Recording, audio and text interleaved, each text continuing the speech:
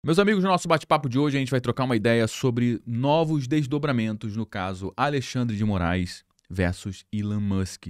Esse caso que já virou uma grande série é, com muitos e muitos capítulos. A gente tem um novo capítulo nessa série, um novo movimento do Elon Musk que coloca uma bomba no colo do Alexandre de Moraes, mas não só no colo do Alexandre de Moraes, mas em todo o STF. O STF já entendeu que o Alexandre de Moraes colocou todo mundo na fogueira. Inclusive, eles se reuniram hoje para decidir se continuariam com o bloqueio do ex no Brasil, seguindo a determinação do Alexandre de Moraes. Muitos ministros já estão olhando meio atravessado para o Alexandre de Moraes nesse momento, que estão vendo as suas carreiras passarem por um momento extremamente conturbado, muito por conta desse posicionamento do Alexandre de Moraes. Bom, a gente vai falar sobre três assuntos nesse nosso bate-papo de hoje. Principalmente, a gente vai falar sobre a Starlink. E você vai entender que essa medida do Alexandre de Moraes de bloquear a Starlink aqui no Brasil antes do X foi uma medida extremamente estratégica. Só que o Elon Musk acaba de fazer uma reviravolta nesse caso, colocando a pressão de volta agora para o Alexandre de Moraes, meu amigo. A gente vai entender aqui esse caso da Starlink, a gente vai falar também sobre o bloqueio do X aqui no nosso país, que nesse momento os ministros mantiveram o bloqueio ao X, mas pode ser que em algum momento o X venha a ser liberado no Brasil novamente. Só que você hoje já consegue acessar o X sem VPN e você vai entender aqui no nosso bate-papo como que você pode acessar o X e outros sites bloqueados sem a VPN. Fica comigo até o final do nosso bate-papo e a gente vai falar também aqui, ó, no número 3, sobre as manifestações contra o Alexandre de Moraes, as manifestações que estão pegando tração no Brasil inteiro, pedindo o impeachment do Alexandre de Moraes, agora no dia 7 de setembro. Vai ter manifestação no Brasil inteiro e esse caso do Elon Musk contra o Alexandre de Moraes acabou jogando muito holofote em cima disso e está tendo uma grande movimentação, um grande levante da população brasileira contra o Alexandre de Moraes. O Brasil inteiro está entendendo que nesse caso o Alexandre de Moraes está extrapolando as esferas, todas as esferas do judiciário aqui no nosso país, tomando medidas autoritárias e o Brasil inteiro está se levantando contra o Alexandre de Moraes nesse momento. São esses três assuntos que a gente vai trazer aqui no nosso bate-papo de hoje e, obviamente, no final, Vou pedir o seu comentário. Sua opinião é muito importante aqui no nosso bate-papo. Fica comigo até o final da nossa conversa para você ter acesso a todas essas informações e entender como tudo isso já está impactando na nossa mesa e vai continuar impactando na nossa democracia, na nossa liberdade aqui no nosso país. Mas antes de entrar a fundo aqui no nosso conteúdo, eu vou fazer como eu faço sempre, eu vou pedir para você o seu like logo aqui no início, você que já conhece o nosso trabalho, sabe que a gente vai entregar um conteúdo show de bola, já deixou o like antes mesmo do conteúdo começar, na é verdade? Agora, se você esqueceu, esse é o momento de você deixar o seu like.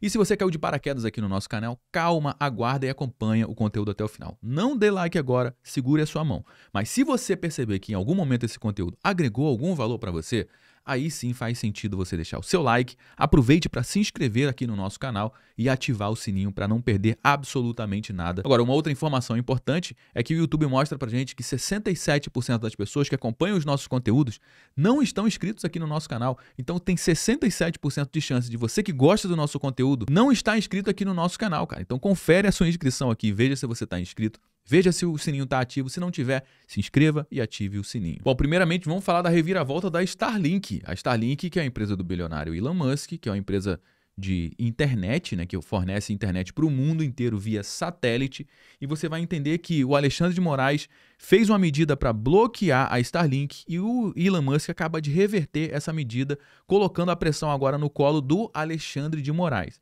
Vamos lá, vamos entender esse caso aqui primeiramente da Starlink. Bom, vamos lá. Suponhamos que isso aqui seja o mapa do Brasil, tá bom? Então, isso aqui é o mapa do Brasil. E como é que funciona a internet no nosso país hoje? A internet funciona da seguinte forma: isso aqui são os servidores que produzem a internet no mundo inteiro.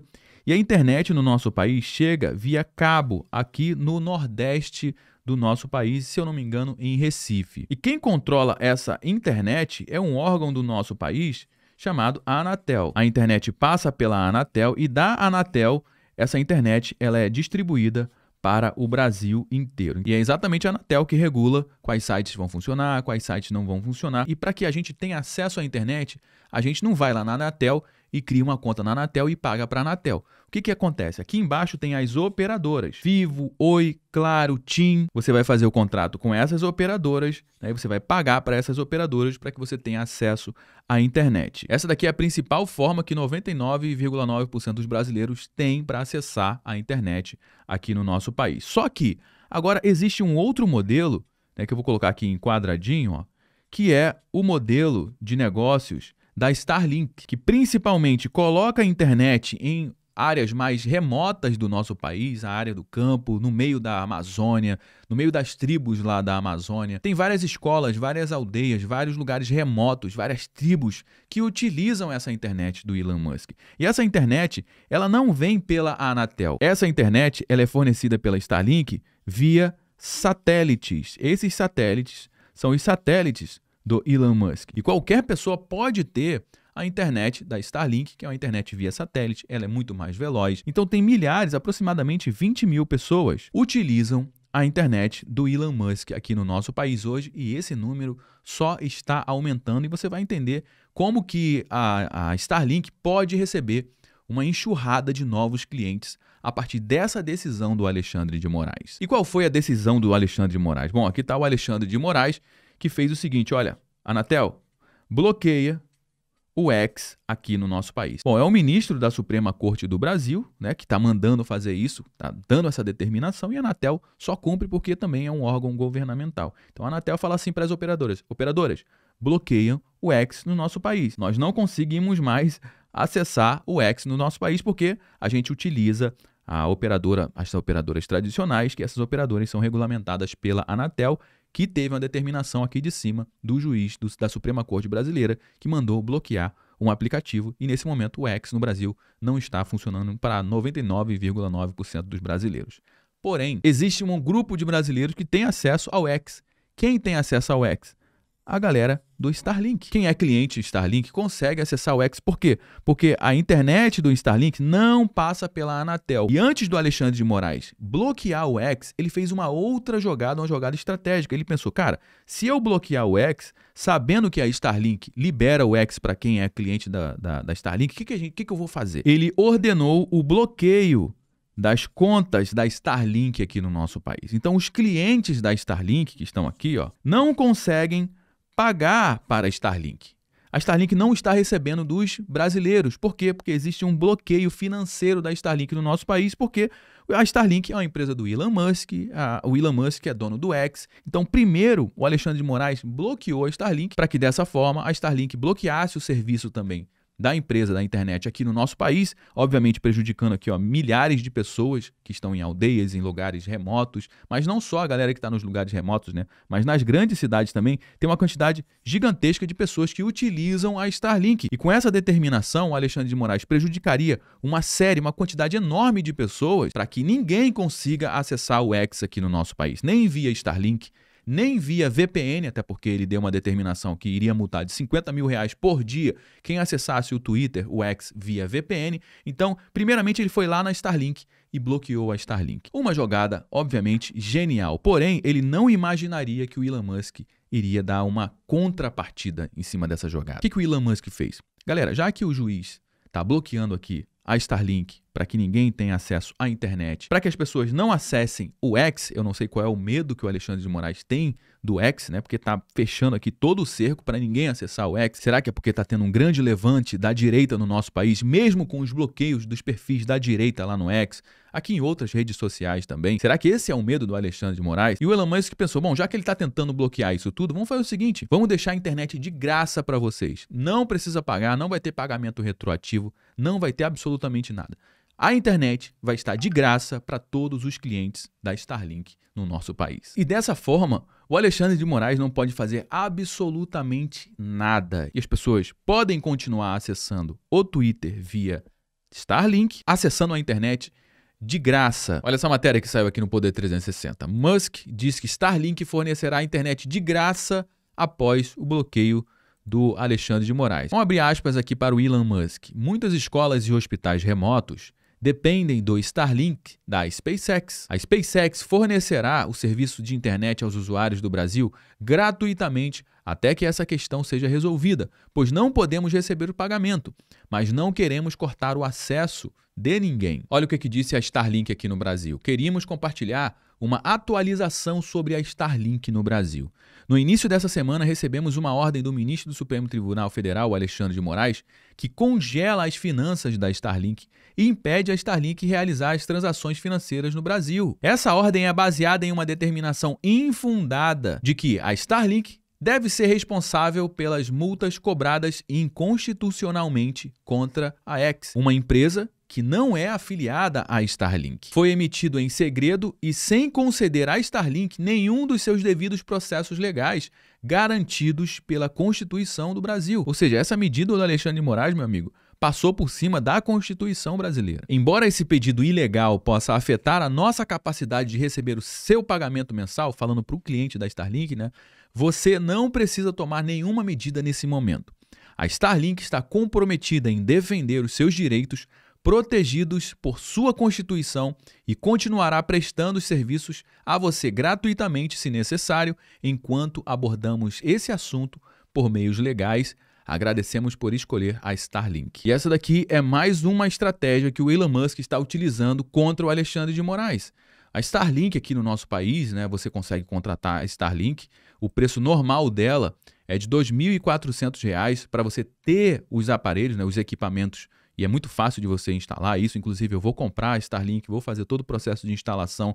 Quem tiver o interesse de acompanhar tudo isso, é só colocar aqui nos comentários. Josué, eu quero saber como que funciona a Starlink. Eu vou comprar aqui a Starlink, eu vou fazer todo o processo de instalação e se tiver quórum aqui de pessoas falando sobre isso, eu vou documentar tudo isso e vou colocar o vídeo aqui no YouTube para você ter acesso a essas informações. Ah, José, tem alguma coisa ilegal nisso? Obviamente que não. É uma empresa que você está comprando de internet e qualquer pessoa pode comprar isso. Só que o Elon Musk está colocando uma oferta especial aqui para clientes brasileiros de R$ 2.400 por apenas mil reais os equipamentos e você vai pagar uma mensalidade de 184 reais por mês para você ter internet de qualidade, de altíssima velocidade, sem perdas, via satélite. Você vai receber sua antena que você vai apontar para o céu, vai colocar no telhado, você vai conectar essa antena ao seu roteador e pronto, você já tem internet via wireless em qualquer lugar do Brasil e do mundo. É só você carregar, transportar aonde você quiser utilizar a sua internet. Você vai para o interior, para o campo, lá não tem internet? Não tem da Anatel, mas do Elon Musk, da Starlink tem. É só você apontar a antena para o céu e acabou. Você tem internet em qualquer lugar do Brasil e do mundo. Daqui a pouco eu vou fazer a compra do equipamento e, se tiver quórum, eu vou documentar tudo isso e vou publicar aqui no YouTube. Comenta aí embaixo, Josué, quero a aula da Starlink. E agora tem novidades. Por quê? Porque essa decisão do Alexandre de Moraes foi para o STF e o STF debateu sobre isso. E o que, que os ministros do STF decidiram? Que mantivesse o bloqueio ao X, mas foi uma medida bem esquisita, como você pode ver nessa matéria. Primeira turma do STF mantém a decisão de Moraes de suspender o Twitter no Brasil. O ministro do STF usou um regimento interno da corte para evitar que a matéria fosse levada ao plenário, onde haveria mais membros. Então ele selecionou esse recurso, né, esse regimento interno da corte, para que esse debate fosse feito de uma forma muito simples, sem aprofundamento. Isso aqui é um mecanismo da Suprema Corte e ele usou esse mecanismo. A primeira turma do Supremo Tribunal Federal manteve a decisão do ministro Alexandre de Moraes de suspender o ex no Brasil. Quem é que seguiu nesse julgamento? O Alexandre de Moraes, Flávio Dino, Carmen Lúcia e Cristiano Zanin. Fux acompanhou o processo, né, mas com ressalvas. O juiz do STF, o Alexandre de Moraes, usou esse regimento interno da corte que permite analisar determinados assuntos em grupos menores. O Alexandre de Moraes optou pelo plenário virtual, no qual os magistrados apenas depositam os seus votos, sem haver debates e os trâmites são bem mais rápidos, ou seja, em algumas horas é, eles já decidiram que continuariam com esse bloqueio. E se tivesse levado o processo ao plenário do STF, Moraes estaria submetido ao crivo dos votos dos demais ministros, entre eles André Mendonça e Nunes Marques, indicados pelo ex-presidente Jair Bolsonaro. Entendeu qual foi a manobra aqui? Não, vamos colocar isso aqui no plenário virtual, de uma medida mais rápida, mais simples, sem vir todo mundo aqui votar, mas não vamos colocar os outros que foram é, indicados pelo Jair Bolsonaro. E aqui, meus amigos, é onde a gente precisa prestar atenção, porque nessa quarta-feira, dia 4 de setembro,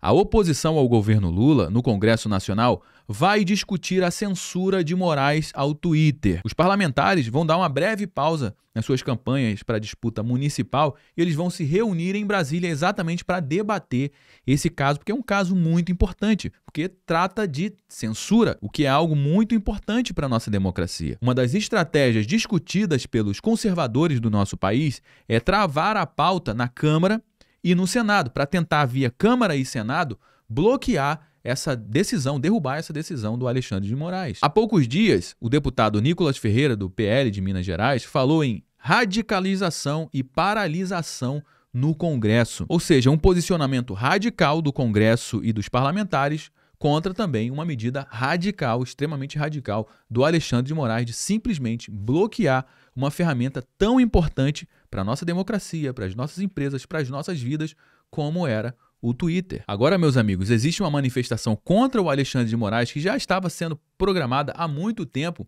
que vai acontecer no dia 7 de setembro agora de 2024, e o Brasil inteiro está se mobilizando para se manifestarem, obviamente, contra o Alexandre de Moraes, contra todas essas medidas autoritárias que passa por cima da Constituição brasileira, medidas essas que tiram a nossa liberdade, medidas essas que comprometem a democracia no nosso país. E esse posicionamento do Alexandre de Moraes contra o Elon Musk acabou sendo um combustível que está realmente inflamando a nossa população, que vai se manifestar agora em peso no dia 7 de setembro de 2024. Nessa matéria que acabou de sair há alguns minutos na revista Oeste, diz que Musk impulsiona o ato de 7 de setembro e pede impeachment de Moraes.